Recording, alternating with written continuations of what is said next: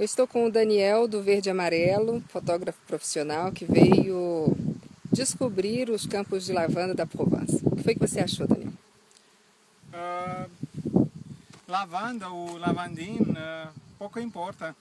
E o que é importante é essa cor uh, roxa, né, que parece um mar roxo, um mar e, junto com a com o cheiro de lavanda é uma sensação inubliável.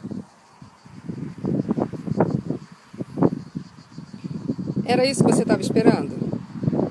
Uh, sinceramente, eu acho que é mais do que eu estava uh, esperando. Eu, eu, uh, eu cresci numa região de campo, né, com, com várias culturas de, de várias uh, plantas e uh, cheguei aqui sem uh, esperar muita coisa, né?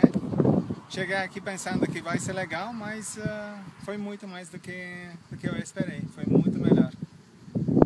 Você indicaria esse passeio? Com certeza.